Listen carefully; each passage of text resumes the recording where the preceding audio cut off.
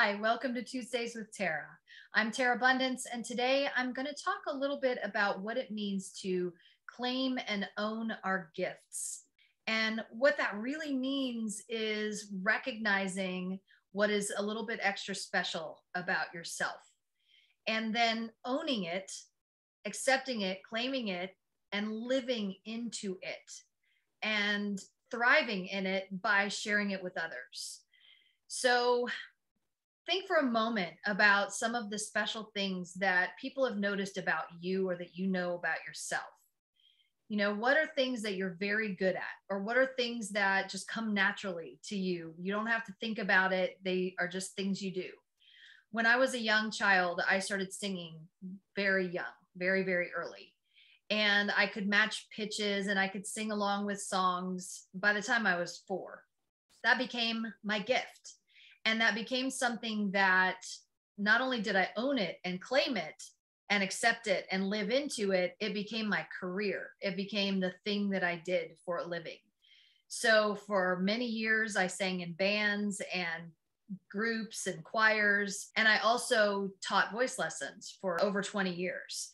And I've met some of the most important people in my life through teaching voice or through teaching classes and workshops. So it's something that I love and something that I definitely still enjoy doing and sharing and teaching and expressing through my voice. The thing is, for many years, I lost my voice. For many years, I couldn't sing. And so I never had it tested and never had it checked, but I'm pretty sure I had vocal nodes on my vocal cords. And even the best singers out there uh, end up getting having damage to their voice if they overuse them. And that's what I did. I overused my voice. It's something that I pushed myself to do because it was something I was good at and it came naturally to me. But when you do that all the time, it can wear your vocal cords down. So when we think about things that we are very good at, things that we are gifted at, and then we claim them fully and then we live as if those are our only gifts or that's the only thing we have to offer the world. Problem is that sometimes we can lose it which is exactly what happened to me. Now there's other gifts that we have that can be things that people don't necessarily see. Certain types of behaviors or emotional connections to things. We could have psychic powers. We could be empaths. We could be highly sensitive we can be healers. We can do things that with our hands with our brains with our minds with our awareness. We can hear things that other people can't hear see things that other people can't see. And those are considered gifts. Now the problem with those gifts is that a lot of people don't get them. A lot of people don't understand them. And so they either abuse them by abusing the person who has the gift to some degree or another whether it's bullying or using that person's gift for their benefit, but not really offering any support in return. And the problem with that is that we don't necessarily lose that gift, but we end up hiding it. And so when we think about our gifts, we have to find a balance that works in our bodies, our minds, our hearts, and in society. So when we overuse or overexert or hide or do whatever we can to to accept and claim our gifts but also maybe not claim them to their fullest or claim them too much as if that's the only thing we have to offer. Basically we get imbalanced. And so this imbalance can really throw our body mind spirit soul into a tailspin. And basically what ends up happening is our bodies are going to suffer our bodies will somehow take on a, a belief or feel stiff and, and unhappy and uncomfortable because we're holding on to something to not let people see it.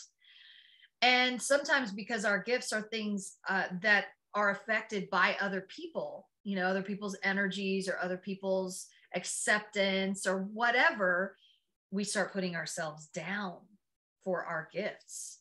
And so, something that I really want to share with you today is it really becomes necessary and important for us to become clear, you know, on how much to use our gifts, how, where to use our gifts, who to give our gifts away to or who how to use our gifts in a way that supports us as well.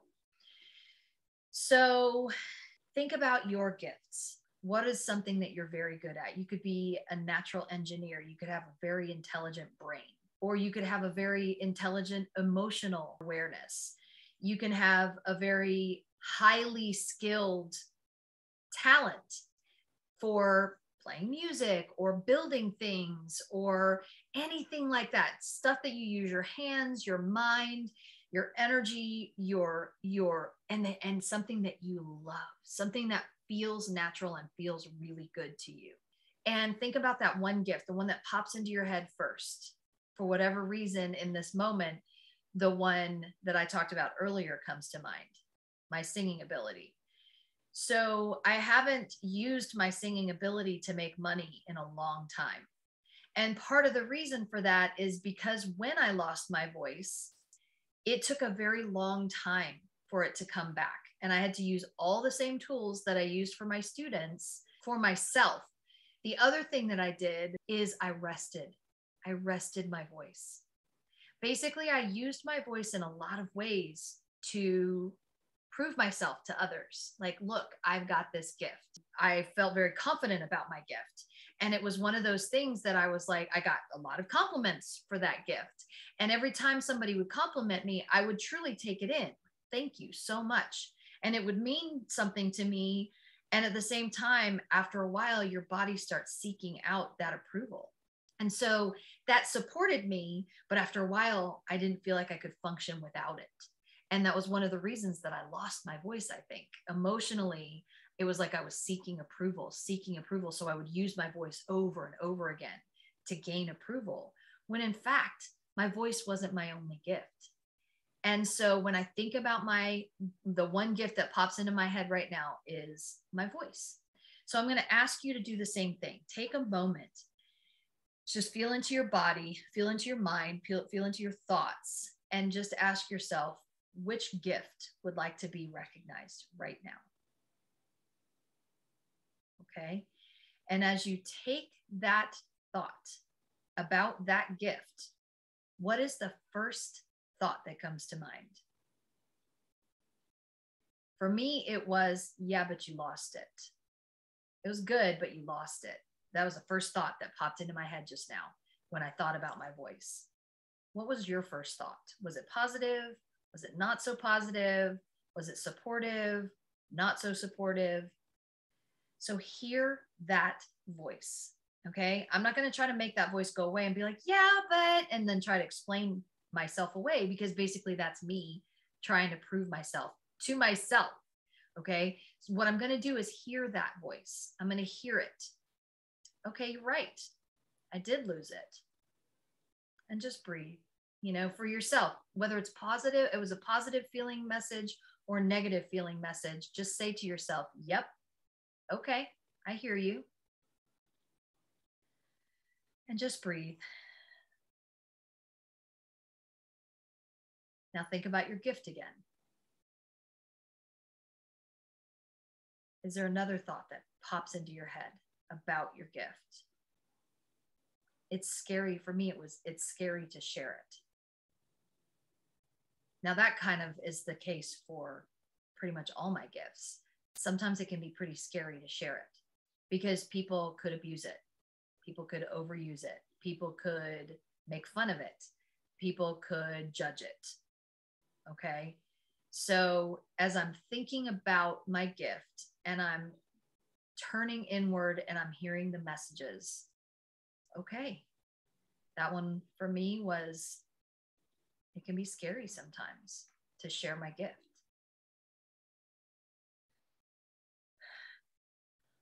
breathing.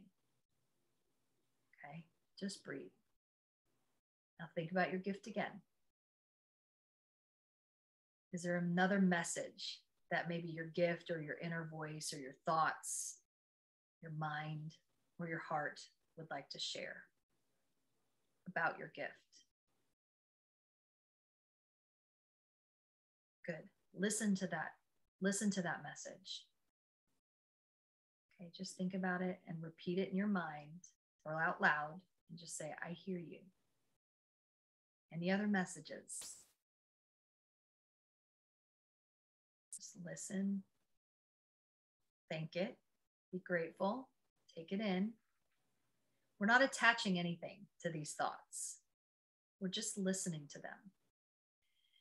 Because what happens is we tend to hide our gifts or, or sort of hold them close to ourselves for many reasons, whether they've been used, abused, you know, or uh, made fun of, or anything that we've had experience around with our gifts.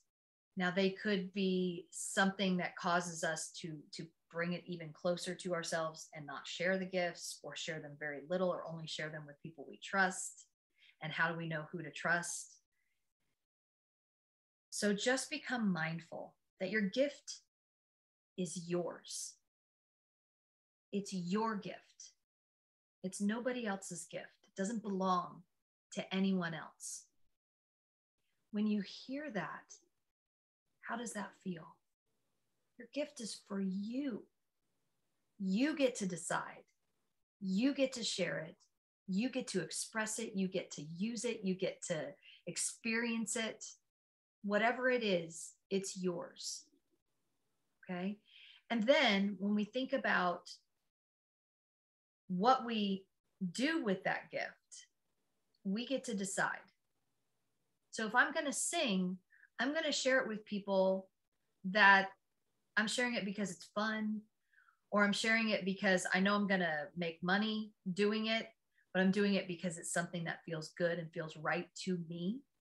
And if anyone expresses something negative about my gift or tries to use it or tries to abuse it or make fun of it, I get to set a boundary with that. I get to say, that wasn't for you. That was for me. I shared that because it was my way of showing love. It's my way of giving you something, gifting my gifts to, to you or to the world. Accept it or don't, that's okay with me. This is my gift. Okay. So go through that as many times as you need to, because what that can do is shift your energy around believing in your gift, owning your gift, accepting your gift, embracing and embodying your gift, and also being able to share it because you know it's meant to be shared. It's only meant to be shared if you feel it in your heart to share it, right? So nobody can tell us anything about our gifts that we don't possibly already know about them ourselves. So if somebody tells us something about our gifts and we believe what they're saying, whether it's positive or negative, then we walk around with that already, whether they said it or not. So there's some part of ourselves that's already aware that our gifts can be taken or damaged or harmed or used, right? And so we get to really step more fully into embracing and accepting and loving our gifts just for what it is. So, what I'm going to suggest this week is that we each really sit down with our gifts. Write them down if you feel like it. Spend some time with each individual gift. You know, you could write all the gifts down in one, you know, on one sheet of paper, but then spend some time with each individual gift that is yours and do this process with it. Just ask the question Is there anything that comes to mind when I think about this gift? Is there anything this gift would like to share with me? Is there anything I feel negatively or positive about this gift? And just ask it questions, you know, just ask the gift and yourself questions about the gift and just be with it, you know, just listen, just be present and listen to what comes comes up. What this might be able to do is help us step more fully into our gifts and live more presently through our gifts and our gifts through us. So that when we show up, we're showing up authentically. When we show up, we're showing up vulnerably because authenticity and vulnerability are two really, really difficult things for people to express. Because when we do, sometimes it can be taken advantage of often it gets taken advantage of, not always. And the more confident we are and the stronger we become about our convictions and our gifts and our boundaries, the more we're able to present ourselves in a way that is healthy for us and the world. Because our gifts are here for us and they're here to be shared when we feel it is necessary and important.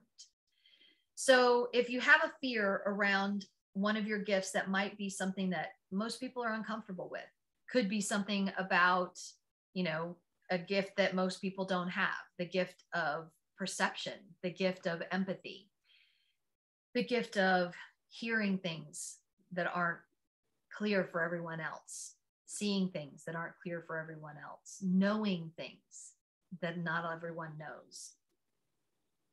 Whatever those gifts are that are kind of hidden talents that a lot of people don't understand and might even take advantage of, it's important for us to become confident in them before we put them out into the world. So get clear, get close, and love your gifts and become confident in them so much so that we get to show up vulnerably and authentically and present our gifts to the world in a way that's healthy for us and for the planet. This is a big ask. So give yourself permission to really take your time with this one, whether it takes a couple of days, a few weeks, over the next couple of months. Just really check in with your gifts individually, separately. And then after a while, spend some time with two of them together, you know, put them together and use them in, co- in concert with each other, in harmony with each other. Then do three or four of them together. If that makes sense, then maybe you create something new into the world that's never been presented. You know, when we can combine our gifts in a way that actually show up as this is what I'm here for. This is what I'm here to bring to the world. Who knows? You may create something brand new. I have confidence in you. I have confidence in myself. We can do this. Have a blessed and beautiful week, my friends. I'll see you next week on Tuesdays with Terra.